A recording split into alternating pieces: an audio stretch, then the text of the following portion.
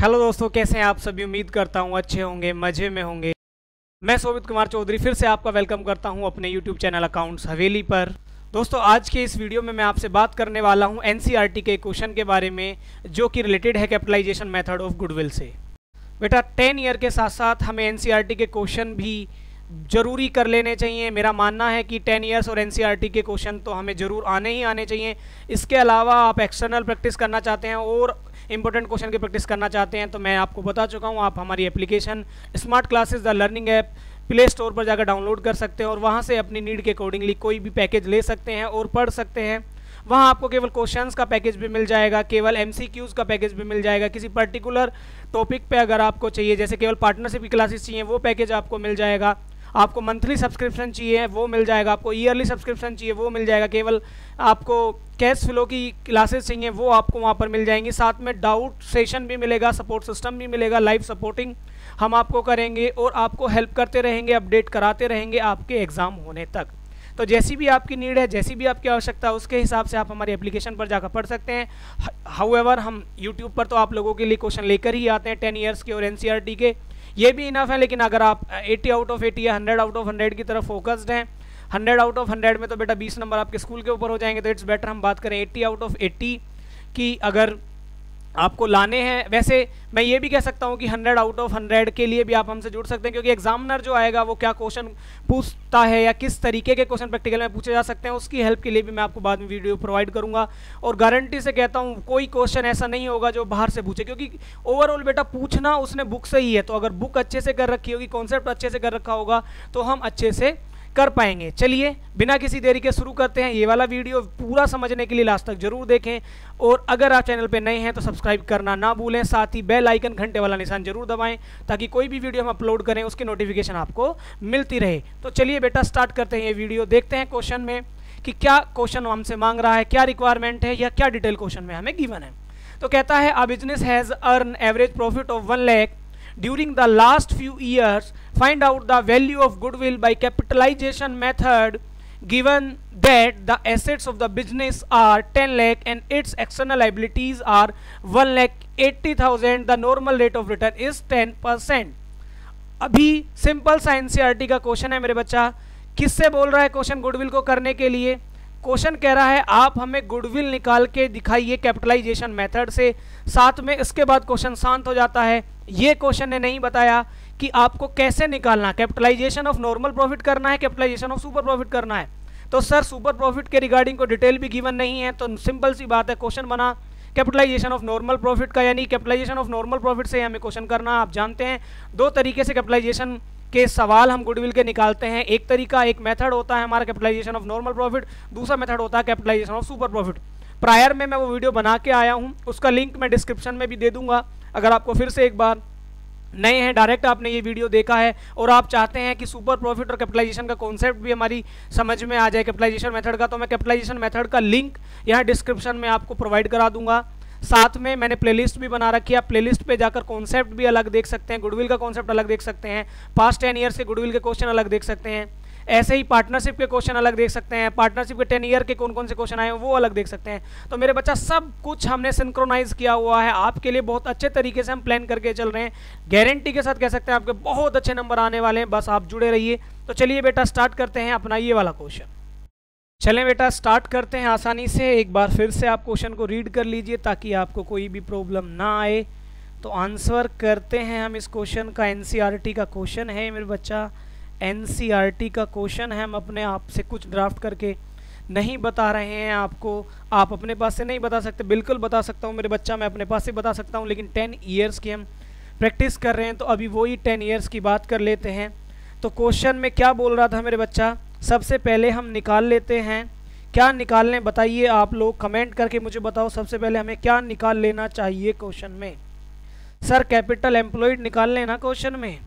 Capital employed capital employed कैसे निकलेगा? मैं डिटेल देख लेता हूँ। डिटेल में हमें दे रखा है टेन लैख की total assets minus outside liability एक लाख अस्सी हज़ार की हैं। तो इस तरीके से माइनस करने के बाद एट लैख ट्वेंटी थाउज़ेंड का कैपिटल एम्प्लॉयड आता है। बेटा, भूल मत जाना, टोटल एसेट्स में क्या क्या नहीं लेते हैं? गुडविल नहीं लेते हैं, फिक्टिशियस एसेट्स नहीं लेते हैं, साथ में नॉन ट्रेड इन्वेस्टमेंट नहीं लेते हैं। तीन चीज़ें, फिक्टिशियस, नॉन ट्रेड और गुडविल यानी कि कोई पुरानी ओल्ड गुडविल बैलेंस शीट में पहले से है तो वो नहीं लेते हैं कैपिटल एम्प्लॉयड की कैलकुलेशन करने में। उसको गुडविल के पॉइंट ऑफ़ व्यू से या कैपिटल एम्प्लॉयड निकालने के पॉइंट ऑफ़ व्यू से हम उसको कंसिडर नहीं करते हैं। दूसरा तरीका, ये जो हमने कैपिटल एम्प्लॉयड निकाला है, इसके हेल्प से हम क्या निकाल सकते हैं? नॉर्मल प्रॉफिट क्या इसकी हेल्प से हमें नॉर्मल प्रॉफिट निकालना चाहिए? क्या क्वेश्चन में नॉर्मल प्रॉफिट निकालने की नीड है। यहाँ बता रहा हूँ, सबसे इंपॉर्टेंट बात मेरे बच्चा, जो बच्चा गलती कर देता है। नॉर्मल प्रॉफिट निकालने की ज़रूरत बिल्कुल भी नहीं है। हमें नॉर्मल प्रॉफिट नहीं निकालना है मेरे बच्चा। बिल्कुल नहीं निकालना है। ये वो चीज़ है जो मेरा बच्चा गलती कर देता है और एक मेथड को दूसरे मेथड में मिक्स कर देता है। ये बड़ा डेंजर पॉइंट है आपके लिए। कैपिटल एम्प्लॉयड निकालने के बाद नॉर्मल प्रॉफिट की तो यहाँ ज़रूरत ही नहीं होती। कैपिटल एम्प्लॉयड की ज़रूरत पड़ती है हमें और नेट वर्थ की ज़रूरत पड़ती है। और दोनों को कंपेयर करके ही हम क्या निकालते हैं? गुडविल निकालते हैं। नेट वर्थ निकालने के लिए हमें क्या करना पड़ेगा? सर, हमें कैपिटलाइज वैल्यू निकालनी पड़ती है। किसकी कैपिटलाइज वैल्यू निकालनी पड़ती है? Capitalize value of average profit तो जल्दी से निकालो। सेकंड पॉइंट में कैपिटलाइज वैल्यू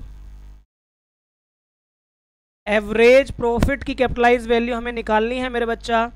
देखकर बताएँ जल्दी से कितना दे रखा है। एवरेज प्रॉफिट क्वेश्चन में कितना गिवन है मेरे बच्चा? एवरेज प्रॉफिट गिवन है वन लैख का।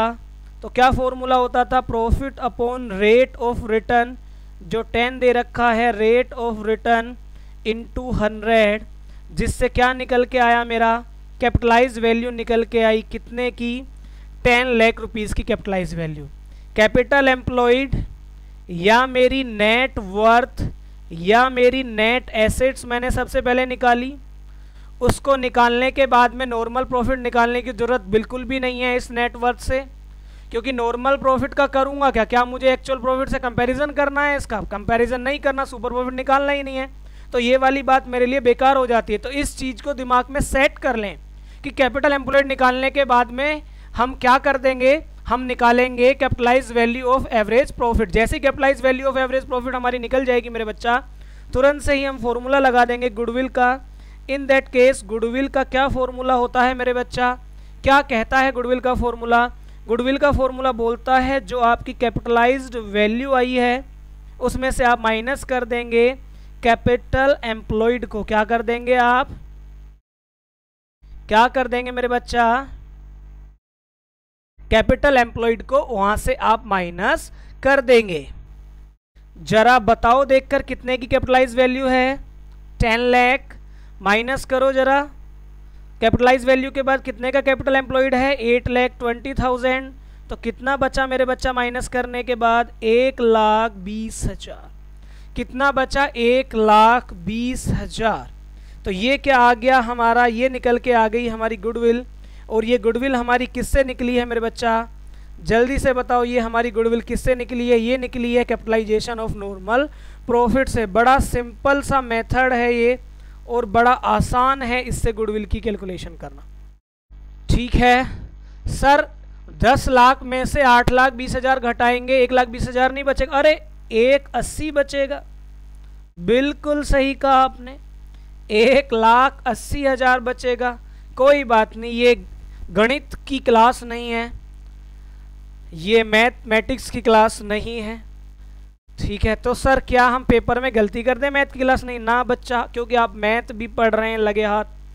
तो आपसे गलती की उम्मीद नहीं है, मैं कर सकता हूँ। मेरी गलती माफ़ है, क्योंकि मैंने एग्ज़ाम पास कर लिया। आपकी गलती माफ़ नहीं है। ठीक है, एक दूसरी बात, कुछ बच्चों का मेरे पास मैसेज आया है और वो पूछते हैं कि, सर, टेन ईयर्स के क्वेश्चन करके क्या फ़ायदा? तो मेरे बच्चा, फ़ायदा ये है कि मेरे हिसाब से थर्टी, फोर्टी या फिफ्टी परसेंट तक पेपर रिलेटेड होता है या रिलेटेड कॉन्सेप्ट का होता है तो पिछले सालों में क्या आया है उसको करना बहुत ज़रूरी होता है। और साथ में मैं आपकी प्रॉब्लम का एक सोल्यूशन दे रहा हूँ कि आप ऐसा मत कीजिए, आप जो खरीदते हैं मार्केट में जाते हैं, आप क्या क्या लेकर आते हैं? आप सोल्ड पेपर लेके आते हैं टेन ईयर्स खरीदते हैं तो मैं यहाँ आपको क्वेश्चन का आंसर करा रहा हूँ। तो आपको उसकी नीड नहीं है। आप क्या करिए? एक कॉन्सेप्ट कॉपी बनाइए या टेन ईयर्स की कॉपी बनाइए। उसमें कॉन्सेप्ट वाइज सारे क्वेश्चन को एक साथ सिस्टमेटिकली तरीके से कर लीजिए। पेपर के टाइम पर उसका रिविजन करें, वो मोर देन इनफ हो जाएगा आप लोगों के लिए अच्छे नंबर लाने के लिए। तो यानी कि यहाँ से अगर आप if you are not able to कि आप परचेज कर पाए मेरे बच्चा, आप टेन ईयर्स परचेज नहीं कर सकते, उनको अफोर्ड नहीं कर सकते तो इट्स बेटर आप फ्री में हमारी क्लास देखें फ्री में टेन ईयर्स की वीडियो देखें और आसानी से उसको कर लें। इसलिए मैं प्रोवाइड करा रहा हूँ। ये स्पेशली हमारी क्लास में उन बच्चों को डेडिकेट करता हूँ जो बच्चे एबल नहीं हैं या जो नहीं पढ़ पाते हैं या स्कूल में उनका इतना अच्छी समझ में नहीं आता या फाइनेंशली इतने वो परफेक्ट नहीं है तो फ्री में क्लासेस हैं। आप यहाँ से आइए फ्री में पढ़िए। आपको केवल पढ़ने की ज़रूरत है, बाकी कुछ करने की ज़रूरत नहीं है। साथ में अगर आप चैनल पे नए हैं तो चैनल को सब्सक्राइब ज़रूर करें वीडियो को लाइक ज़रूर करें और साथ में ये घंटे वाला निशान ज़रूर दबाएँ। और घर रहें सुरक्षित रहें। जय हिंद भारत माता की जय।